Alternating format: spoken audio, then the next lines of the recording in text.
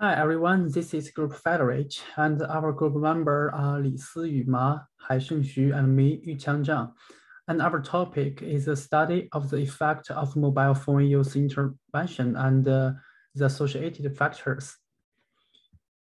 As we all know that the mobile phone have greatly contribution to the people's life due to the various functions of mobile phone like social connection and uh, entertainment. And some previous study has shown that some treatment can control this addiction of the mobile phone to improve working efficiency and the physical analysis.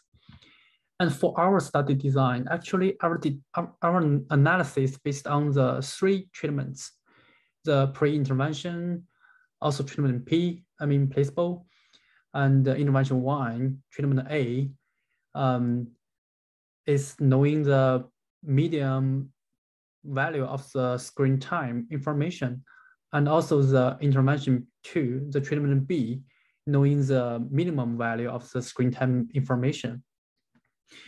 And uh, our purpose is that to test if these two intervention can make a difference. And we also want to figure out what kind of people are more likely to be affected. And uh, then I will talk about the data uh, our data is collected from 32 students from our class. And each student have 30 days data.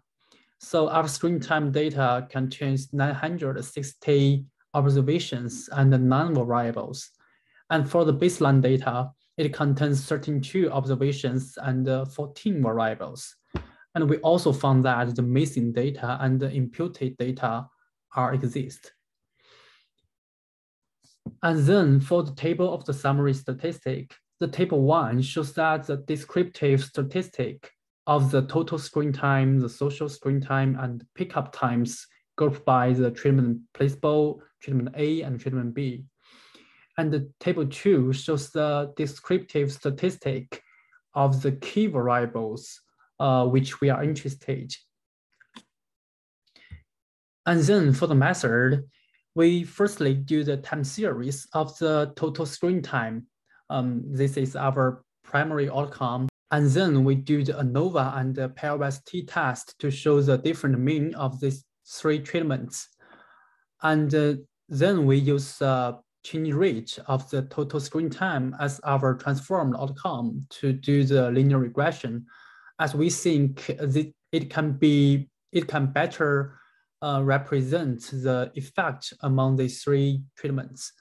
And finally, we do the stepwise regression to select the key variables to make the model better.